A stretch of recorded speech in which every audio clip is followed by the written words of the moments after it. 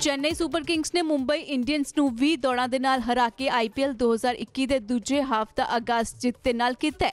ਇਸ ਜਿੱਤ ਦੇ ਨਾਲ ਹੀ ਚੇਨਈ ਦੇ ਕਪਤਾਨ ਐਮਐਸ ਧੋਨੀ ਨੇ ਕਿਹਾ ਕਿ ਰੁਤੂਰਾਜ ਗਾਇਕਵਾੜ ਅਤੇ ਡਵੈਨ ਬਰਾਵੋ ਨੇ ਉਹਨਾਂ ਦੀ ਉਮੀਦ ਤੋਂ ਬਿਹਤਰ ਸਕੋਰ ਤੱਕ ਪਹੁੰਚਾਇਆ ਚੇਨਈ ਨੂੰ ਮਿਲੇ 157 ਦੌੜਾਂ ਦਾ ਟੀਚਾ ਦਾ ਪਿੱਛਾ ਕਰਦੇ ਹੋਏ ਮੁੰਬਈ ਦੀ ਟੀਮ 20 ਓਵਰਾਂ ਵਿੱਚ 8 ਵਿਕਟਾਂ ਉੱਤੇ 136 ਦੌੜਾਂ ਹੀ ਬਣਾ ਸਕੀ ਹੈ।